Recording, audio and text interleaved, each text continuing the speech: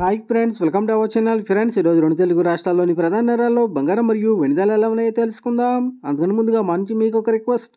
మా వీడియోని ఇంకా లైక్ చేయకపోతే లైక్ చేయండి. మీరు చేయలేక నాకు ఎంతో సపోర్టింగ్ ఎంకరేజింగ్గా ఉంటుంది. అదేవిధంగా మా ఛానల్ని సబ్స్క్రైబ్ చేసుకోండి. పక్కన వచ్చే గంట సమయం యాక్టివేట్ చేసుకోండి.